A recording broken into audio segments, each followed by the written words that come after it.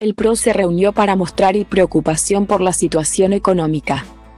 Los principales referentes del PRO, encabezados por el expresidente Mauricio Macri, se reunieron para analizar la situación económica del país y también avanzar en la incorporación del liberal José Luis Esperta Juntos por el Cambio.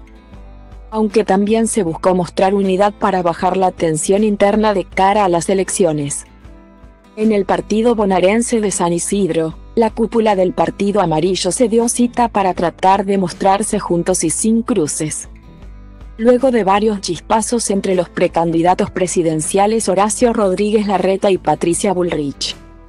En la casa del exministro de Trabajo Jorge Triaca estuvieron los dos aspirantes a la presidencia. Al igual que Macri, los diputados nacionales María Eugenia Vidal, Federico Angelini, Cristian Ritondo y Diego Santilli, y el ex secretario general de la presidencia Fernando de Andrés.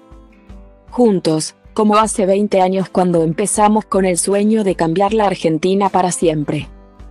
Este tiempo terrible, de miedo y angustia que estamos viviendo, es el final de una etapa que se va.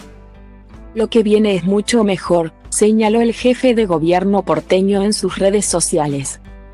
En tanto, el exministro de Seguridad bonaerense contó que hablaron sobre la reunión que realizará el próximo martes Juntos por el Cambio para analizar con economistas la situación económica del país.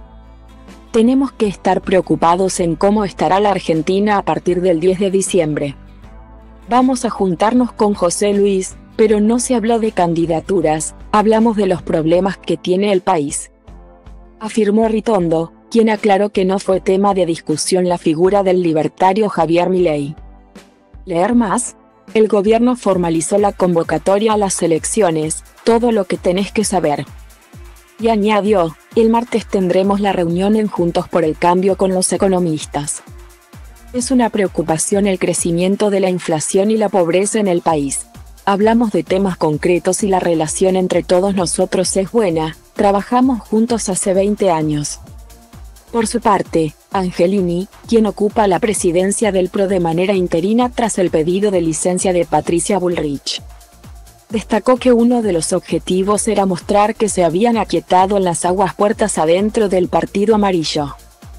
Ya dimos vuelta a la página, es un claro ejemplo de unidad la que estamos dando en el PRO y cómo solucionamos los problemas. Siempre negé de darle soluciones a la gente, expresó el santafesino. Lo que se lee ahora.